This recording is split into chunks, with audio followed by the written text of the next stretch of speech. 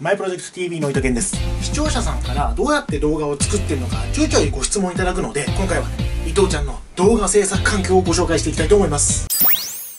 まずはカメラ。2つ使い分けてます。外で撮影するときはソニーのアクションカム HDR-AS100V 家の中で撮影するときはパナソニックの HCV360M どっちもね2年以上前のモデルなんですけどなんとかね未だ現役です。ソニーのアクションカムは手ブレ補正がすごいのとすごくいいのよ。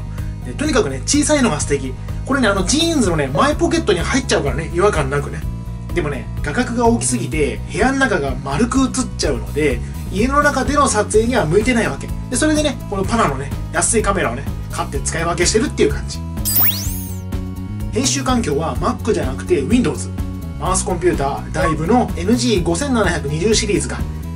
ゲーミングパソコンに適した PC だと動画編集もねスムーズにできます。編集ソフトも Adobe のプレミアじゃなくて僕ねあの PowerDirector 使ってます。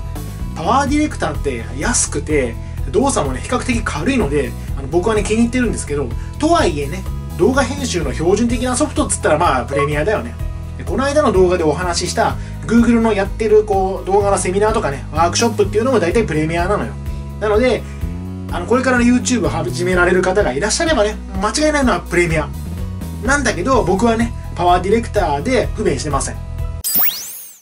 あとはあの三脚とかね照明とかね。こういうのもあの量販店家電量販店とかじゃなくてあの Amazon で中国製のねすんげえ安いやついっぱいあるからもうねあのそういうやつでいいよ。高いやつが必要になった時にねそういうのはまた買えばいいので。で1本の動画を作るのに実際56時間かかってます。ネタを考えて準備するのに1時間。イラスト屋で素材を集めて必要な図やイラストをまとめるのにまた1時間、まあ、撮影自体はねあの家の中での撮影ならば、まあ、準備の時間も含めても15分ぐらいで終わっちゃうのね。あの、まあ、外でだったらそういうわけにいかないんですけど。あとは編集に2時間。えアップロードしてサムネ作って微調整するのにまた1時間。普段あの会社勤めをしておりましてですね休日にねまとめてこう動画を作るわけなんですけどもうね全然時間が足りない。1万時間の法則というものがあってだな。何でも1万時間ぐらい取り組めばその分野のエキスパートになれちゃうよっていうね経験則のこと。このマイプロジェクト TV は今まで220ちょいのね